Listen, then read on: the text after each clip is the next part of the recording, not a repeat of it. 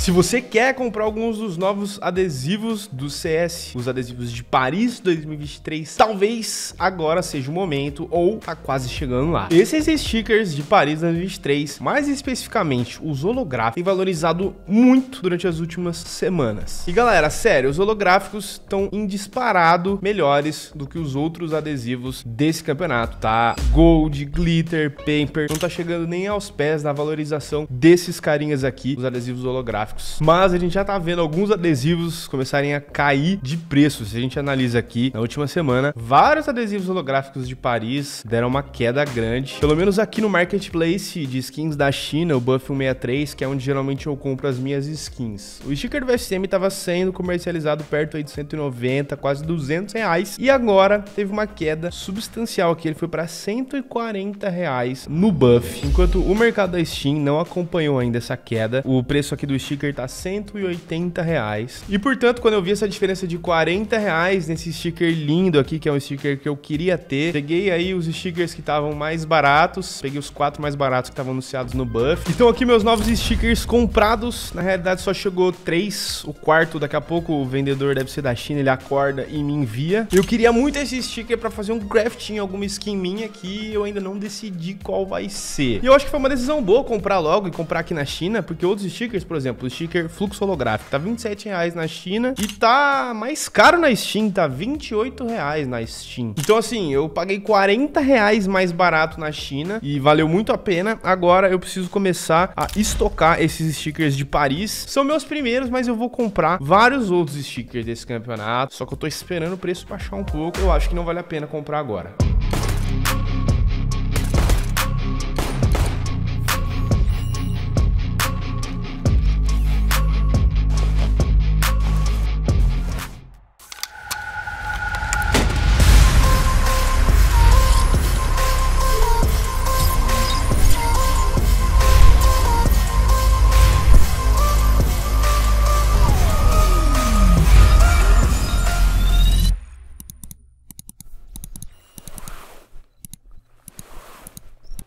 Aí vai ter muita gente me perguntando, bom, mas por que você tá falando que não vale a pena comprar agora, mas você tá comprando? Bom, meu pensamento tá sendo o seguinte, eu vou comprar apenas alguns stickers agora para fazer crafts em skins, para produzir conteúdo, e eu tenho certeza que muitas pessoas têm o mesmo pensamento que eu, estão simplesmente comprando os stickers agora, pagando o preço que eles estão valendo, porque estão ansiosos para fazer algum craft no seu inventário, ou estão achando que já é uma boa oportunidade de investir e vender daqui a pouco por um preço maior. Mas, se a gente for parar para pensar, esse desconto de 75% das cápsulas vai durar ainda mais um mês e meio, em média, né? Se a gente for comparar o tempo que durou nos últimos Majors, foi aí sempre dois meses. Então, na teoria, no final desses dois meses, depois do 75% de desconto ter durado por um tempo longo, muitas pessoas têm aberto as cápsulas e dropado os stickers, a tendência é que o preço dos stickers vai estar tá mais baixo, simplesmente porque vai ter muito mais oferta. Mas, sabendo que esse é o único Major de 2023, o segundo foi cancelado, só vai ter Major no CS2 em 2024. Então, nesse campeonato, muitas pessoas vão estar tá investindo nas cápsulas cápsulas, nos adesivos. Já tinha essa tendência realmente de ser super investido, vamos dizer assim, né, das pessoas comprarem demais essas cápsulas e elas estarem sendo geradas uma quantidade muito grande, exatamente por esse motivo que a gente esperava que o preço dos stickers ia cair com desconto, mas foi exatamente o contrário. Portanto, eu ainda não tô colocando minha mão no fogo, não tô ainda colocando meu dinheiro pensando que esse preço dos stickers é real, mas as pessoas realmente já estão jogando pro futuro, vendo que alguns times estão se desfazendo e que muito provavelmente alguns desses adesivos aí de Paris 2020 2023 vão ser os únicos e últimos de alguns times, algumas organizações. Então, assim, não querendo tentar gerar uma teoria da conspiração aqui, mas eu acho que o novo I My Power, o novo Titan, talvez esteja dentro de uma cápsula de Paris 2023. Vocês já pararam para pensar nisso? Simplesmente porque podem ser os últimos adesivos transparentes do CS. A gente não sabe como é que vai ser Copenhague 2024, que é o próximo Major, se o fundo vai ser transparente ou se vai ter algum formato, mas se não for transparente, o adesivo de Paris 2023 3 é uma grande promessa a longo prazo. E o iBuyPower, o Titan holográficos lá de cá 2014, esses stickers que eu sempre fico comentando, eles só se tornaram o que eles são hoje porque são basicamente os únicos stickers bons desses dois times, né? Com fundo transparente. Então, quem sabe esse processo não aconteça novamente, algum time pare de participar de Majors, deixe apenas um adesivo, eternamente ele fazendo história no jogo e valorizando. Seria um assunto muito legal pra gente comentar num próximo vídeo. Então, ativa o sininho de notificação no canal, a próxima, me diz aí nos comentários o que, que você você quer que eu faça com esses VSMs holográficos, onde que eu aplico. A gente se vê em breve nesse vídeo de craft. Tamo junto. Falou!